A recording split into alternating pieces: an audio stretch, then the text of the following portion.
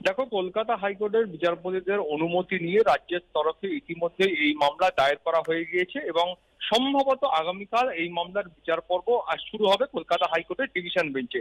তার আগে তোমাকে বলব যে গতকাল বিচারপতি রাজশেখর মান্থার তরফে শুভেন্দু অধিকারীকে যে রক্ষা কবচ দেওয়া হয়েছিল তার বিরোধিতা করেই রাজ্য সরকারের তরফে এই মামলা করা হয়েছে এবং মূলত সেখানে যেটা বলা হয়েছে যে গতকাল তুমি জানো যে তার প্রাক্তন দেহরক্ষীর খুনের মামলা সহ মোট তিনটি মামলার ক্ষেত্রে গোটা তদন্ত প্রক্রিয়া বন্ধ করার নির্দেশ দিয়েছিলেন বিচারপতি মান্থা এবং দুটি মামলার ক্ষেত্রে বলা হয়েছিল যে তাকে আহ, গ্রেফতারির মতো কোনো কড়া পদক্ষেপ কলকাতা হাইকোর্টের নির্দেশ ছাড়া বা অনুমতি ছাড়া করতে পারবে না, কিন্তু প্রয়োজনে জিজ্ঞাসাবাদ করতে পারবে। এবং এখানেই রাজ্যের তরফে প্রশ্ন করা হয়েছে যে, যেখানে খুনের মতো মামলা রয়েছে বা খুনের অভিযোগের মতো যে মামলাগুলো রয়েছে, সেই মামলাতে এখনও পর্যন্ত তাকে জিজ্ঞাসাবাদ করা সম্ভব হয়নি। কেন তদন্ত প্রক্রিয়া বন্ধ হয়ে যাবে, যেখানে খুনের মতো গুরুতর অভিযোগ রয়েছে, সেই কারণেই রাজ্য সরকারের তরফ থেকে বিচারপতি মান্থার এই যে নির্দেশ, সেই নির্দেশকে তারা চ্যালেঞ্জ করছেন এবং করে ইতিমধ্যেই মামলার দায়েরের যে প্রক্রিয়া, সেই প্রক্রিয়া সম্পূর্ণ হয়েছে।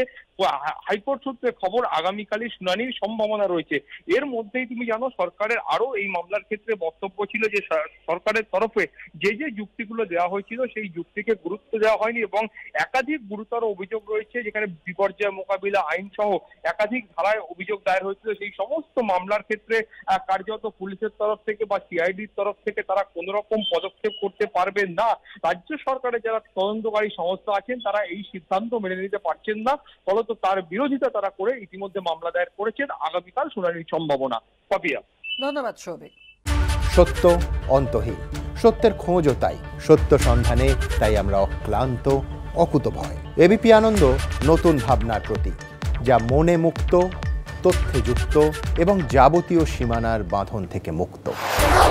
সীমা না শব্দটির মধ্যে লুকিয়ে আছে মানা শব্দটি, যেন চোখ রাঙানি, এক অদৃশ্য বেড়াজাল যা আটকে রাখে আমাদের এক ছোট্ট গণ্ডির মধ্যে।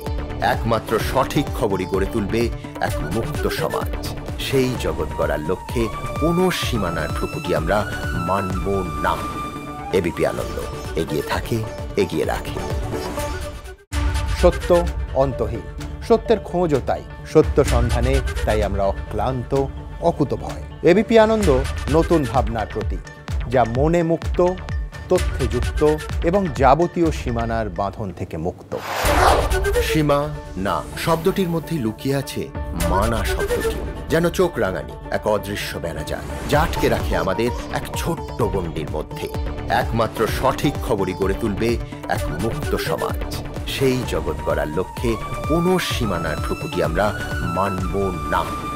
এবিপি আনন্দ, এগিয়ে থাকে, এগিয়ে রাখে।